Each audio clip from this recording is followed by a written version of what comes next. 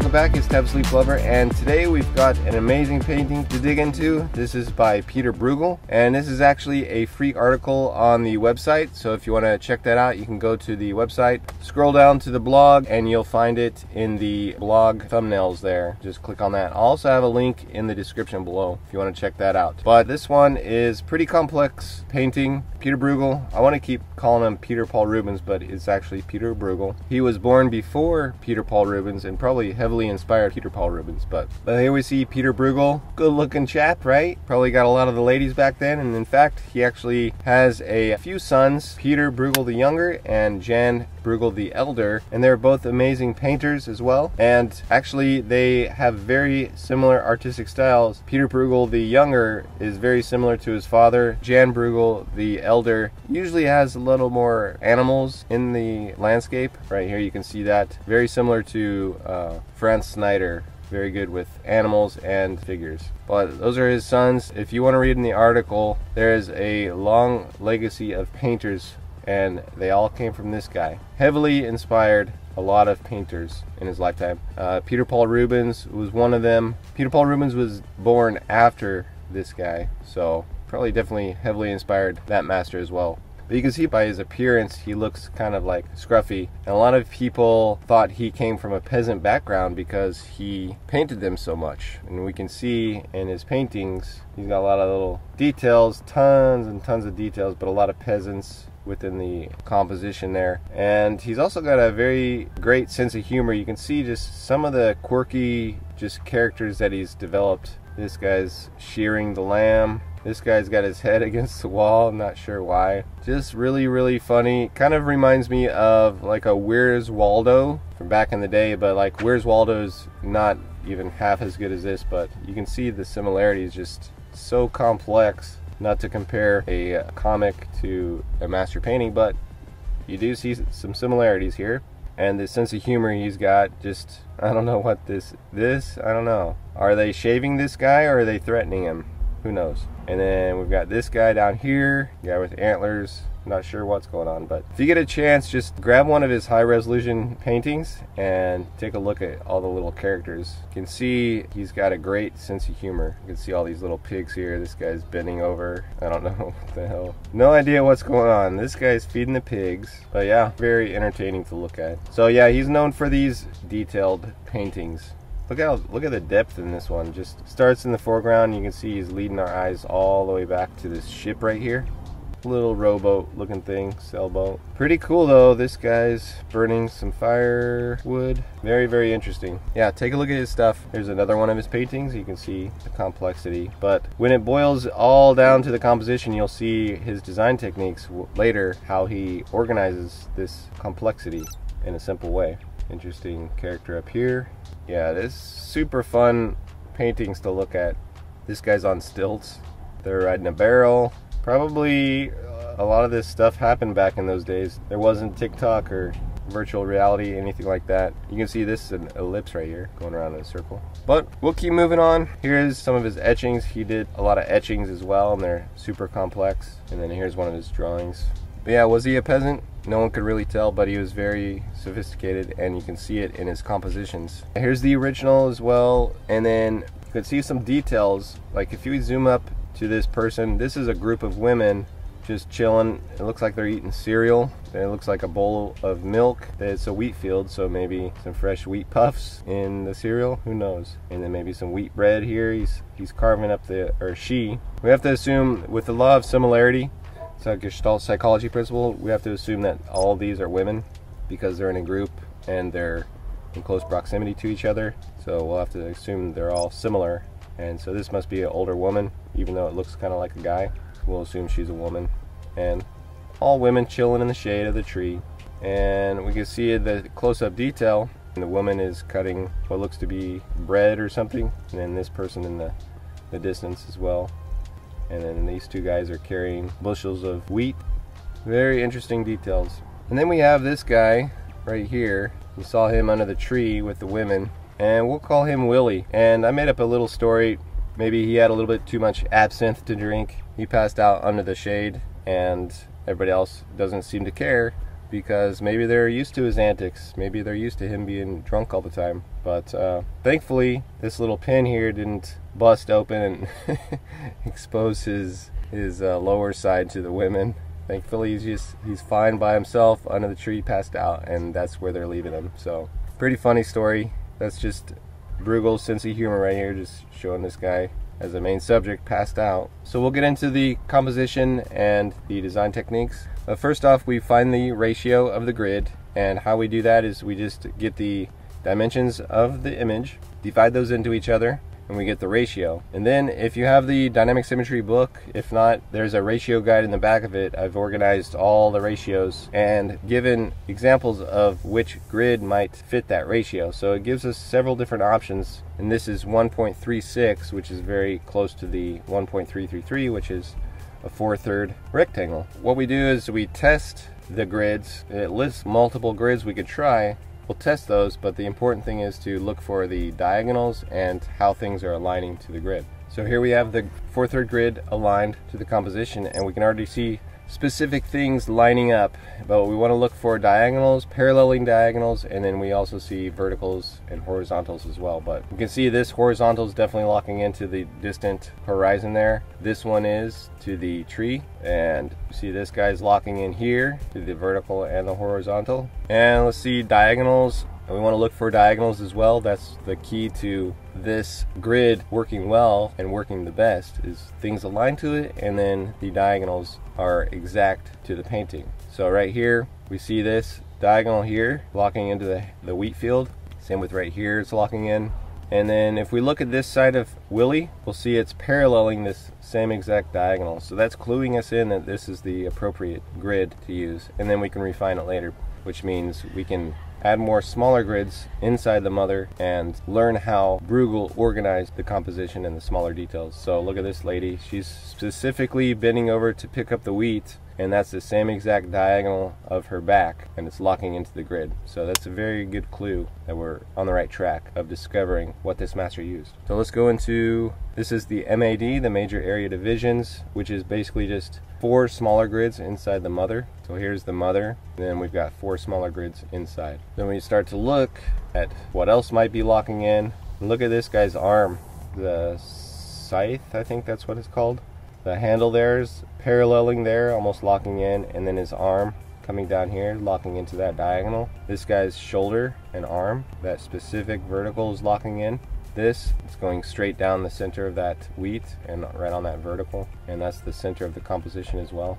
And then you just keep looking at the details. So right here, the hat's locking in there, this shoulder and arm going straight down that vertical this person in the background. So right here on this vertical, this is called a coincidence. This guy's aligned with this guy on the same vertical movement. And we'll get into those here in a second, bit, but let's keep looking, see what else locks in. It takes a lot of time to just look deeply into a painting and I know not everybody has this time to do it so that's why I'm doing it for you and this paralleling here this diagonal and then down here let's see what else is locking in this woman's arm, the diagonal of her arm is locking in there on that diagonal.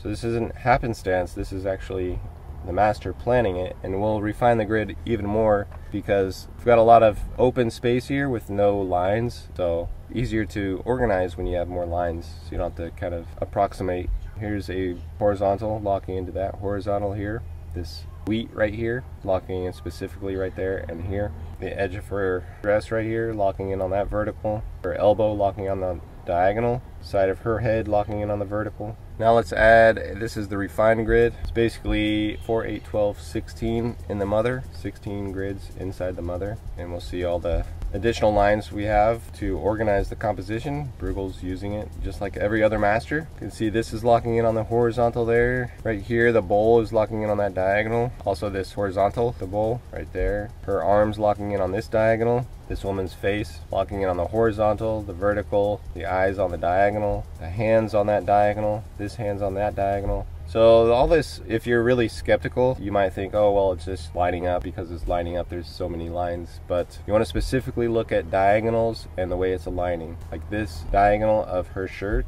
zoom up and you'll see it's exactly the same exact diagonal. So once you see this in multiple master paintings, you start to think like, dang, these guys are all doing the same thing. And we were only taught the rule of thirds. So look at this bread right here. Same exact diagonal as this. So very, very, very, very cool stuff once you start digging into it yourself. Right here is the cuff of his shirt locking in there. This is the same exact line of it, the collar of his shirt locking in on that horizontal. See the shadow area of this wheat compared to the light area of the wheat? It's on that specific diagonal. So all these diagonals adding up really, really, here's this one looking, locking in on that diagonal and this diagonal. And his hand is ending right on that eye right there, all these intersection points. So very, very awesome, complex composition being organized by this grid system. So here we'll see all the areas locking in there. Really cool, a lot of areas. So let's move on to the gamut. Gamut is derived from, these are four specific diagonals derived from this four-third grid. So they're all pulled from the Baroque diagonal, the Sinister diagonal, and then the reciprocal diagonals. So you can have more diagonals than four, but I usually just cover the four that are specifically from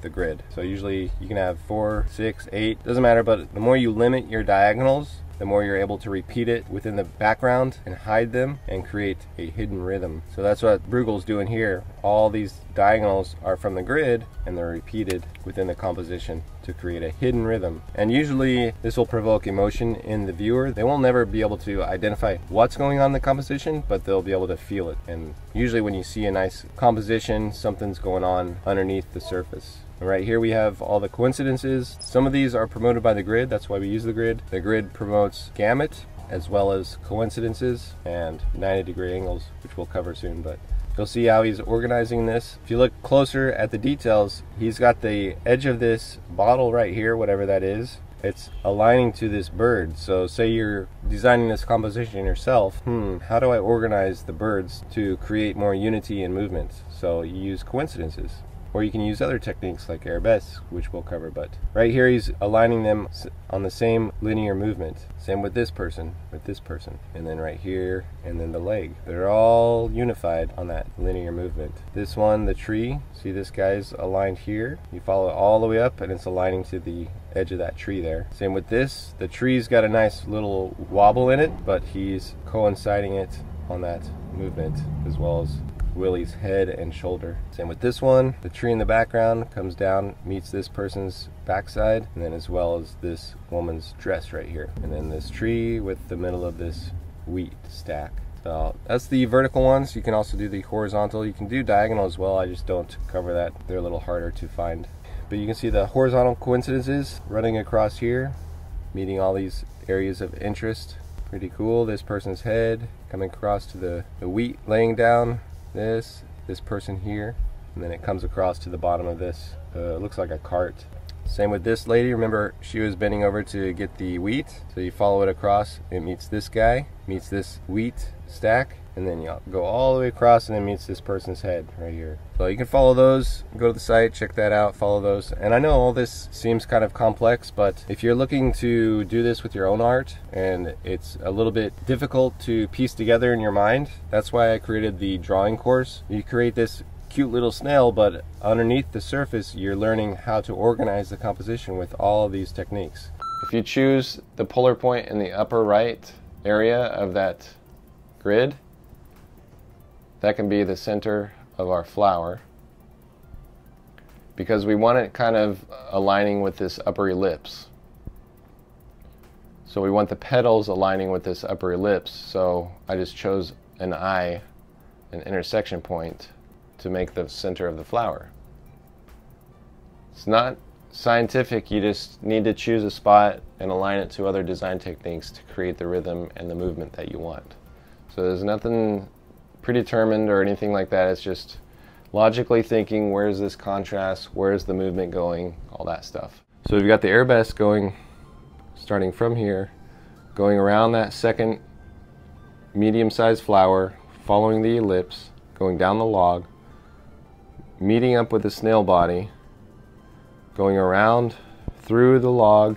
That means we can create leaves there to help kind of create that dot to dot effect, meeting the ground plane and then circling around that smaller circle inside but it's got stuff in there for beginners and advanced artists. So check that out when you can. Definitely designed to help you create compositions like Bruegel did here. So here we have the 90 degree angles and these are hidden as well. All the design techniques should be hidden and that way they hit the viewer kind of like a magic trick. They don't really understand what's going on but they can feel it. They know something special is going on. If you look closer you'll see this line in the wheat comes down and it meets that shadow we were talking about, the shadow of the wheat to the light of the wheat. Here's a larger one created from, let's see, I'm gonna turn the original back on. So we'll, we have this little pitchfork right here coming up, meeting the tree. So that's coinciding and creating a 90 degree angle within the composition and it's a large one and it's meeting this diagonal in the background this shadow area of the trees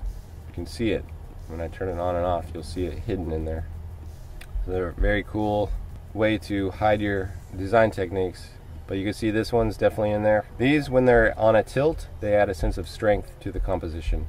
So here's some triangular enclosures, and these are adhering to the same kind of technique as the 90 degree angles. We're using coincidences to create a shape. And these basic geometric shapes like the circle, square, triangle, those are easy to create shapes with and easy for the mind to identify. But to turn this on and off, we can see them all hidden within the composition there. You can use subtle changes in contrast, like right here. It's just very subtle change in contrast that can be used to create these enclosures. Or it could be a harsh transition like this. This is a hard edge, this is a soft edge. You can use either one or really super subtle transitions of contrast like right here. This is very soft edge. You can't really tell what's going on because of the low contrast. And then this is a hard edge but you can see it's all tying together to create that triangular enclosure. Same with ellipses. Ellipses are enclosures as well but they function differently. They create unity and movement. See the movement circling around and turn that on and off. You can see it hidden in there. And the more you analyze these paintings the more you'll start to be sensitive towards these techniques and you can start to identify them and then incorporate it into your own art. There's a lot of them there. And these tie into the arabesque right here. A lot of the times the masters will overlap these composition techniques and they'll complement each other. You can see that there. Arabesques create the same kind of thing. It's a unity and movement on a elegant type of sweeping motion through the composition. Definitely one of the techniques you can use to provoke emotion in the viewer. Very, very nice technique to use. Gazing direction, this has to do with the balance of the composition. So if you find the bulk of the composition, meaning the area with the most contrast and interest, so basically right here in between these these vertical lines is the bulk of the composition because this is mostly negative space on the left here and then this is mostly same kind of negative space nothing really interesting on this side either. So you could snip this off snip this off and nothing's missed. So Bruegel is creating more negative space on this side so that gives us a balance going from right to left. That's the gazing direction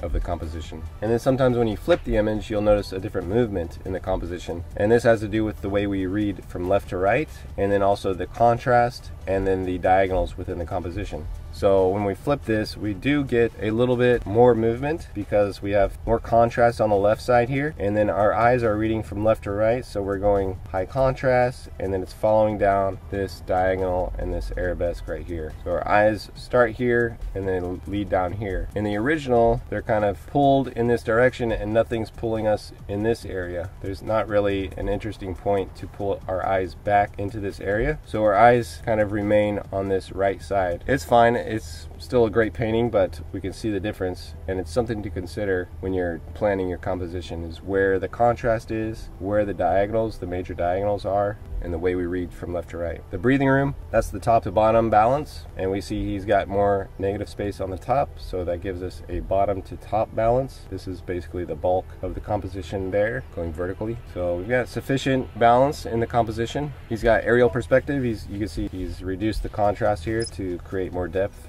you can create aerial perspective by reducing the contrast like this, like we see in nature, or you can do it with lighting techniques. So like uh, right, maybe right around here, you can tell it's all shaded. See the shadows coming in? And then he's reduced the contrast so much we lose detail in this area. That creates depth. So that's what he's doing here is creating depth, lose that contrast.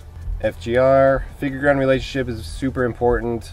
I would say if you have one technique you must pay attention to, it's figure ground relationship. And of all the characters within the painting, Willie right here, he sticks out the most. He's got, he's really defined, but he has also got that aspect of view, which is the spread limbs, which helps us identify him. Even if he's a silhouetted shape, we can tell what's going on there. This guy right here, he's got an aspect of view, spread limbs right there. And these guys, say they were silhouetted, they would be hard to identify because they're, they don't have that aspect of view. But most of them do have nice figure ground relationship. And then when you're looking at your composition, make sure you squint. This will help you simplify the scene and then you can kind of identify where the contrast is. You can see a lot of the contrast is in the sky, that's obvious. But usually the sky or like uh, street lights, uh, lamps in the rooms, those will have a lot of contrast, but we obviously know that those aren't the main subject, so we're kind of uh, drawn to this area here, and we'll find out why in a second. But yeah, blur your vision, it's going to simplify the scene, and you'll be able to see if you've got sufficient contrast in the important areas. Also, run your eyes around the edge,